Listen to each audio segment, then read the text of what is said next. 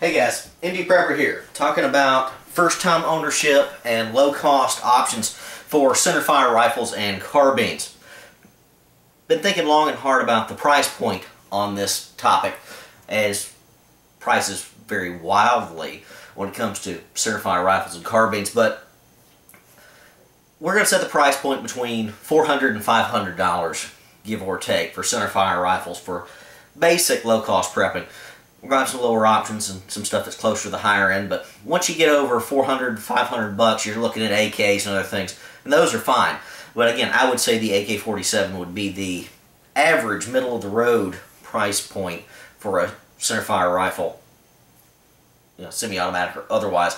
You can get cheaper bolt-action rifles, and obviously the price goes up from there, but we're going to look at, you know, somewhere between probably 450 to 500 being the upper end of the low-cost options for centerfire weaponry.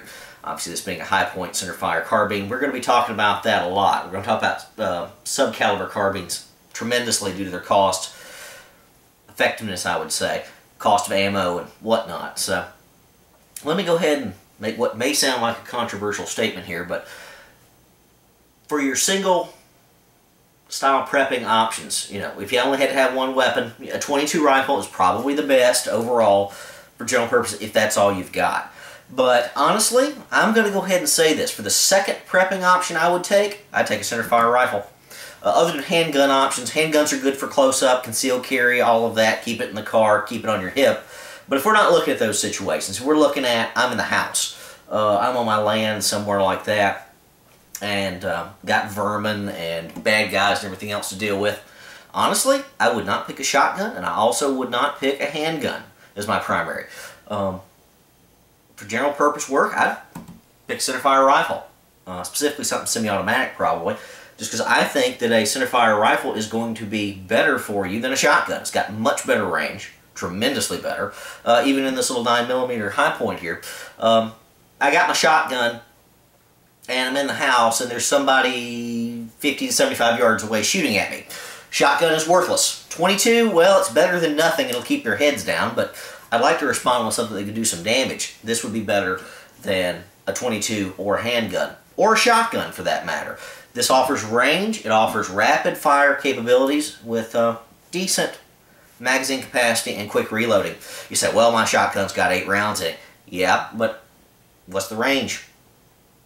25 yards, 30 yards tops for real effectiveness.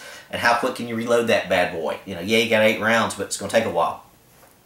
Your average carbine, depending, or, or even a rifle, is going to reload just as fast, if not faster, especially in the semi-auto versions of a rifle with a magazine, than any shotgun ever will, period, including the Saigas and all that. Those aren't low cost, so we're not going to talk about those. But anyway, Magazines are easy to switch out, especially if it happens to chamber the same as your handgun. That's a major bonus. We'll be talking about that here in the future. Um, I'll be talking about the benefits of the different subtypes of rifles and whatnot, but I think a centerfire rifle will be the way to go. Uh, ammo is, even if it's expensive, if you're looking at 30, uh, 30 6 or 308, etc., I can carry a heck of a lot more and store a heck of a lot more centerfire rifle ammo than I ever can a shotgun shell, especially for the weight and the size.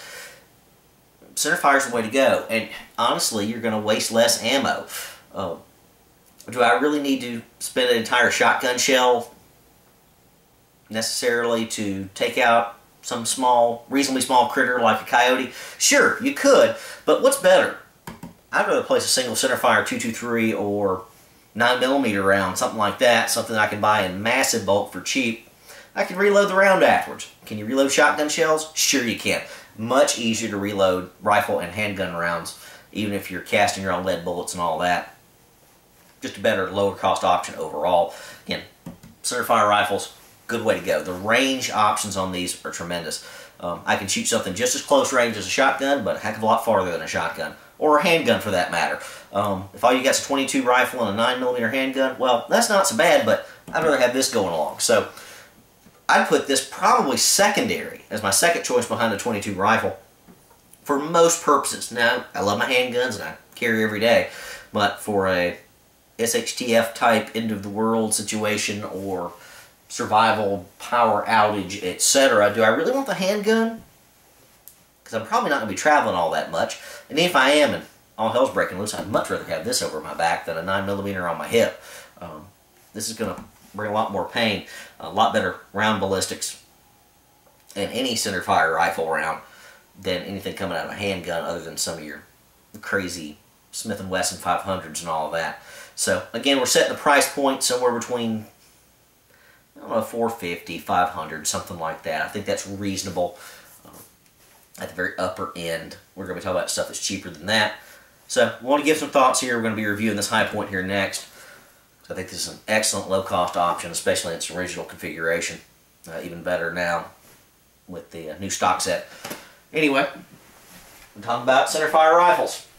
Low-cost initial purchases if you're a new shooter and all that. MD Prepper, out.